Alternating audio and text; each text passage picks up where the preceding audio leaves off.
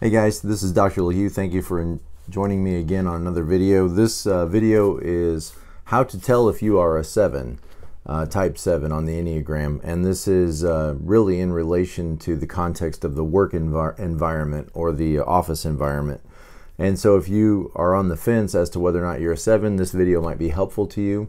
Or if you are a 7 and you just want to understand um, more about yourself so that you can be a more productive, more effective worker, more useful in the workplace, then this, this will be helpful for you.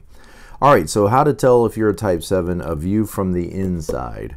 Okay, um, number one, if your mind emphasizes the positive information, um, the positive elements of work, if that's where your mind goes first, if that's what you want to dwell on, or the positive things about work, and you enjoy thinking about and working on future possibilities and learning things that interest you. Um, not that you would have a maybe a long dedicated interest in a subject, but you have a variety of interests, and they come uh, in sparks and in waves. So you're focused on um, a topic, or you're focused on a project, and um, then you'll you'll focus all of your energy on that project. It may be all you think about. You become obsessed with it.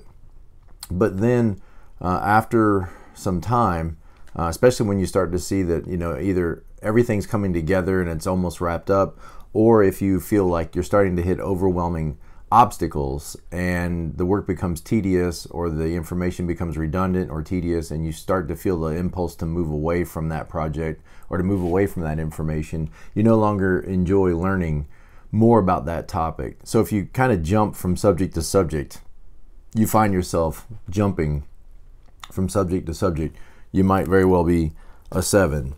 Um, if you have number two, if you have the bright shiny object syndrome, the bright shiny object syndrome, you're distracted by um, other things. You're distracted by engaging ideas, um, attracted uh, to things that pop into your mind or pop into your vision, and you kind of have that squirrel, you know, um, aspect to your thinking where you can easily get distracted uh, or sometimes even distract yourself because the work is becoming tedious or monotonous. You may find yourself thinking about other things, wanting to do other things, um, failing to work on what is, you know, the priority in favor of what is more enjoyable.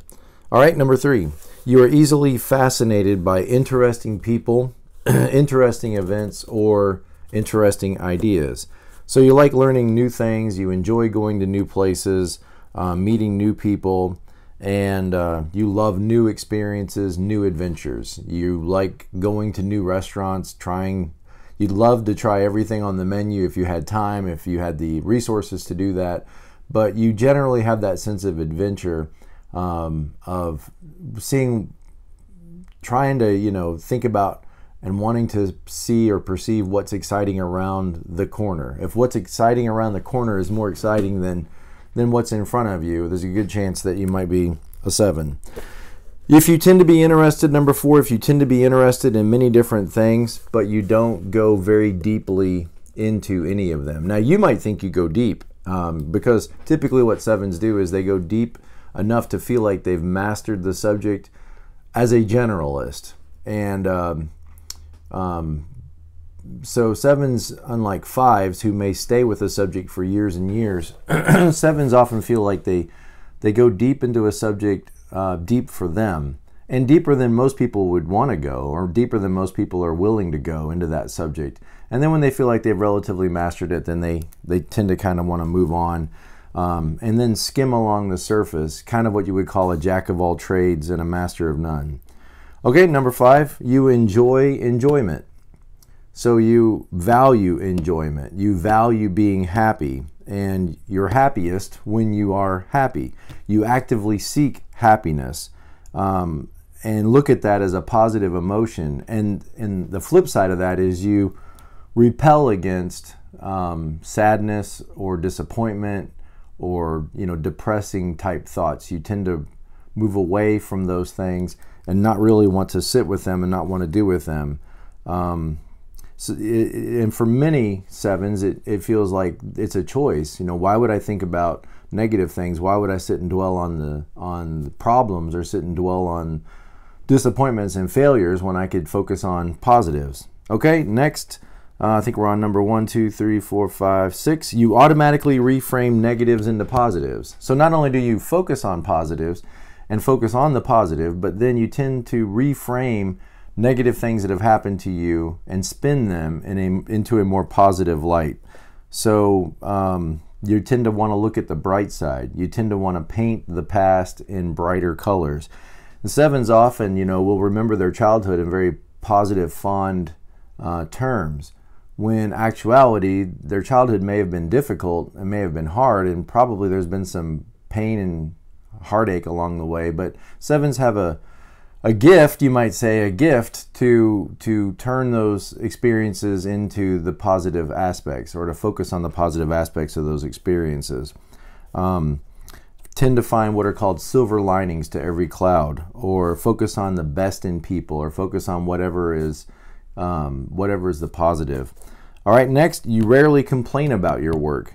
Your mind emphasizes the positive elements of your job if you're complaining about your work a lot, you've probably already quit that job. And sevens may have a may find it difficult to stay with a particular job for very long because there's so many interesting things to do. And when things get difficult in a workplace or when relationships get stressed, um, it may be your impulse as a seven to just abandon ship, cut your losses, and move on.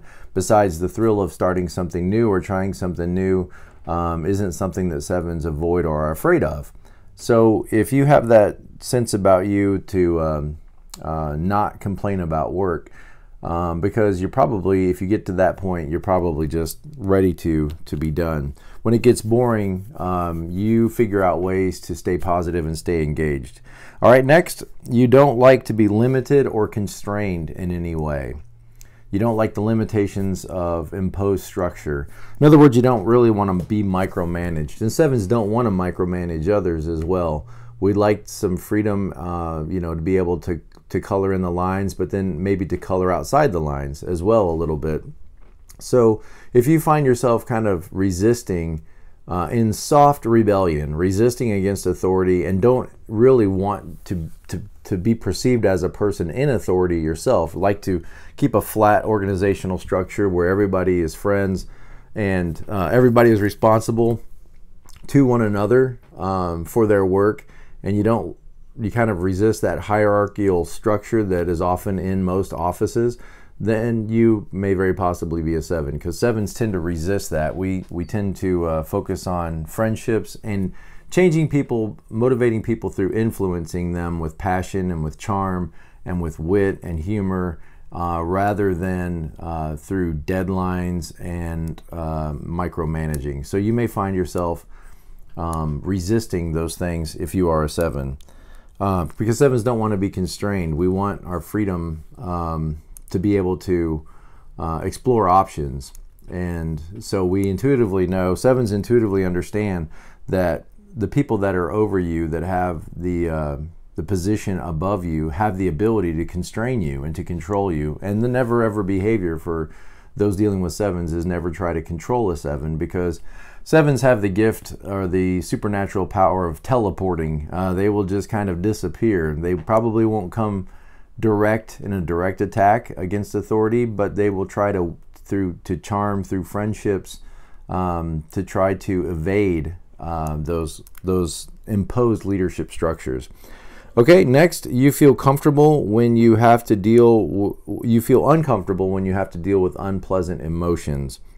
You feel uncomfortable when you have to deal with unpleasant emotions. It can be difficult for sevens to have difficult conversations. When when you're in the workplace you know there's going to be times when people who are being managed um, need to be told the truth. They need somebody to look at them and you know the eye and be direct with them and be straightforward with them not beat around the bush.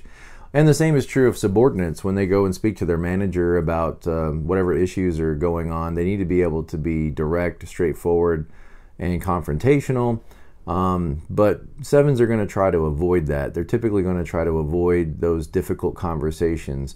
Um, it's just not something that's that's pleasant, and so sevens are are going to beat around the bush and maybe never get to the point.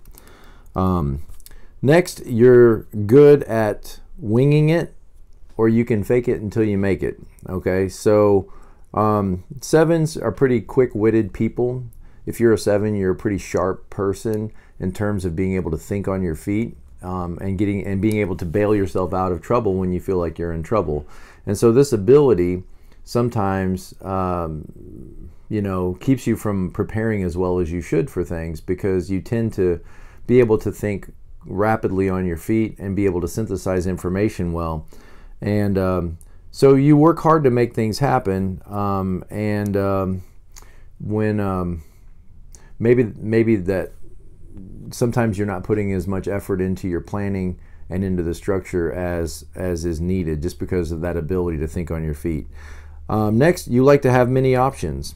So sevens will have a plan A, a plan B, a plan C, and if that doesn't work out, you know an escape plan. And so if you like to have a lot of options and you like things to be flexible and spontaneous, you're probably a seven. You don't like hierarchies. Um, we already kind of talked about this, but um, you want your boss to be your friend. You want to try to make friends with the boss, not in order to maybe advance yourself like some types might, but just to sort of eliminate the pressures that come with um, with that kind of hierarchical relationship. Uh, you don't want to be strict on others, and you don't want others to be too strict on you. And last, you enjoy being in leadership positions that involve generating innovative ideas and envisioning the next big thing. So, if you're a seven, you probably excel at brainstorming and coming up with innovative ideas. You like to think outside the box. You can synthesize uh, information from several different spheres uh, and bring them together and uh, envision possibilities and potential, which can be a great asset, you know, if, um, if that is developed. So hopefully this helps you if you're trying to understand if you are a seven, particularly in the context of the work environment.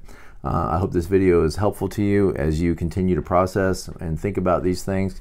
Um, I'm thankful to um, the book Nine Leadership Types of Leadership by uh, Beatrice Chestnut. And uh, as always, guys, be, be present to life and uh, like, comment, and subscribe for more great information. All right, blessings.